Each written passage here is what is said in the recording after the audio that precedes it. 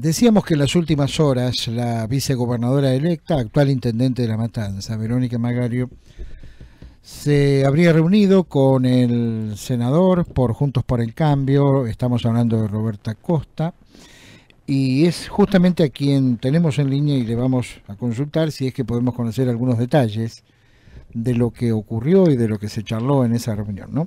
¿Cómo le va, senador? Buena mañana de jueves. ¿Cómo está usted? Un gusto hablar con ustedes, buen día. Bueno, ¿podemos conocer algún detalle de, esta conversación con la vicegobernadora electa de las últimas horas? Sí, no, fue una, una conversación, digamos, de la gentileza de que la vicegobernadora electa, actual intendenta de La Matanza, haya, nos haya llamado, haya venido a conversar con nosotros. Fue una charla muy cordial, donde empezamos a tratar de edificar eh, cómo va a ser el trabajo en el Senado y bueno, con las incertidumbres que siempre generan un cambio de, autoridades, un cambio de gobierno y más teniendo en cuenta eh, la falta de, conocimiento de algunas de las decisiones que vaya a tomar el gobernador. Entonces estamos en un momento, digamos, en un stand-by hasta que se conozcan algunos temas más para poder seguir avanzando. Bien, ¿cómo evalúa la, la, relación previa a la asunción de las nuevas autoridades con, en este caso, lo que uno desde lo periodístico entiende, las principales espadas ¿no? de lo que va a ser la oposición? Mire, el, trato con la vicegobernadora, con Verónica Magario, fue eh, muy cordial. Eh, de, de, una persona que sabe a dónde viene y, en mi caso que sabemos dónde estamos. Eh, después, bueno, hay temas políticos que están sin solucionar, gabinetes que no se han anunciado, un montón de cuestiones que todavía quedan pendientes y las sesiones el lunes.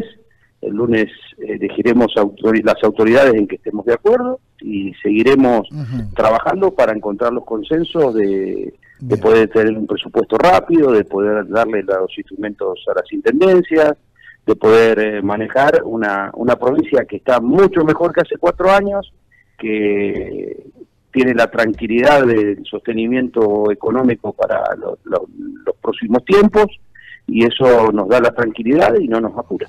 Bien, hay mañana un vencimiento importante de la provincia, ¿no? Unos 5.200 millones. ¿Se, ¿Se sabe algo por estas obras sobre el particular? estaba, decidiendo el directorio del banco entre ayer y hoy a ver si había una refinanciación o si la provincia tenía que pagar. Eh, por supuesto, la provincia tiene el dinero porque lo dijo María Eugenia que hay 25 mil millones de pesos en caja, cosa que hace cuatro años había 170, hay una pequeña diferencia.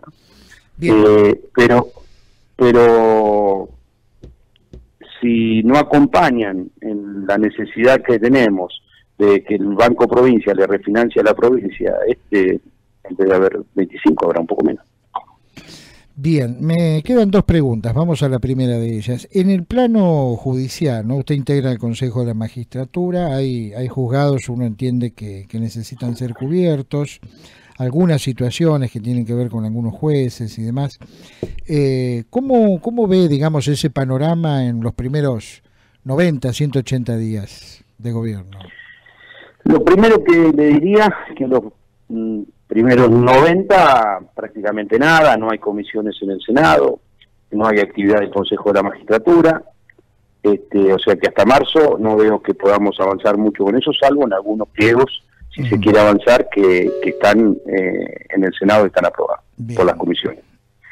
Eh, nosotros, como siempre, esto se trabaja, se ha reformado la ley del Consejo de la Magistratura, hoy es doble examen, eh, escrito y oral para aquellos que tienen que aprobar y se presentan al concurso, tienen que pasar todos los filtros, todas las entrevistas, y nosotros, como siempre, como nos manejamos estos cuatro años, vamos por eh, los que representen eh, o los que presenten mejores características para cubrir los espacios. Eh, por supuesto, hay tantas instancias que hay que acordar y nosotros siempre estuvimos, dispuestos a acordar. Creo que no hay caso alguno, salvo una rara excepción de la abstención de, del bloque del Frente Justicialista o del Frente de Todos ahora, que en un solo caso y que todos los demás fueron por unanimidad, así que se ha trabajado muchísimo, por lograr los acuerdos. y así vamos a seguir. Imagino que va a haber eh, extraordinarias durante este verano. Yo creo que sí, tendremos extraordinarias en, en diciembre, tendremos en enero, eh, tendremos todo lo que el gobernador necesite. Bien, eh, vayamos a la última, esta más que nada una, consulta técnica, porque se sabe que el gobernador electo, Axel Kicillof, va a asumir el día 11 el mandato de la actual gobernadora la saliente, María Eugenia Vidal, finaliza el 10. Eh, ¿Se especula con algún gobernador interino, digamos, eh, cómo sería la, modalidad o, cómo se podría el que resulte electo el que resulte electo vicepresidente primero del, del Senado el día lunes será quien ocupe el cargo interinamente de gobernador el día martes. Hoy ese cargo lo ocupa usted. No, no, no, no, yo soy presidente de que Hoy ese ah, cargo lo, ocupa Horacio López, pero que termina terminó su mandato. Bien. O sea que hoy ese cargo está vacante, hay que elegirlo el lunes. Bueno, veremos entonces. ¿Usted cree que este Estamos trabajando, va, a salir todo bien. De última se demorará un poco, pero va a salir todo bien. Nosotros tenemos la voluntad, lo que pasa que en este caso, que, que solamente se, se vivió en el 99, cuando la alianza también tenía mayoría en el Senado, hay que entender que las mayorías eh, tienen la capacidad y son representantes del pueblo también y si se dio una circunstancia donde el Ejecutivo lo ganaron ellos y nos tocó ganar eh, el Senado a nosotros, eh, también tenemos que tener eh, posiciones de decisión. Muy bien, senador Costa, que siga usted muy bien, gracias por su gentileza. Gracias a usted, muy atento siempre.